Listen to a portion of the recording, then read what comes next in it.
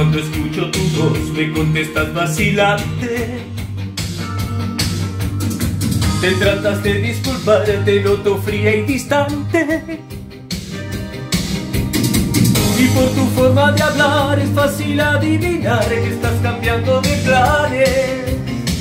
Y no me quieres ver, al menos por esta tarde. Presiento que la Hay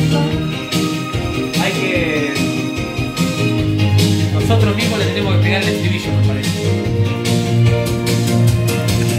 Hola, doña Dominga. Hola, ¿qué tal, querido? ¿Cómo andas, querido? Justito se fue la cortina. Acá sí. estamos en Loma Negra, querido. Un calor, querido.